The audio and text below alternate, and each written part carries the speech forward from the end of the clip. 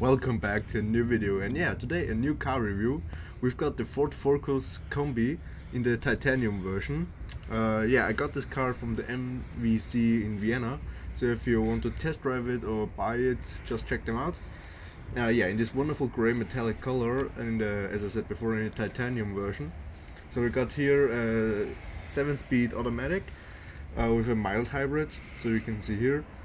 Uh, yeah it's a 3 cylinder I got the 125 horsepower version. I guess it's a three cylinder.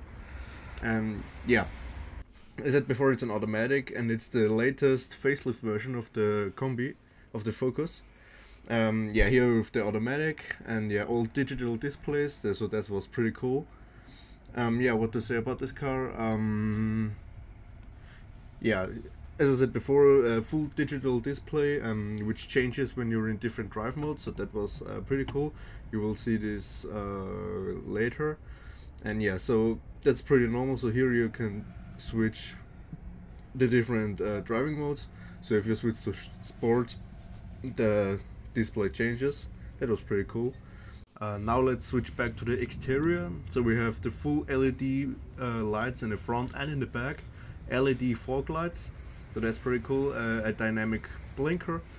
Uh, yeah 18 inches uh, aluminum rims so that they look pretty cool for winter tires.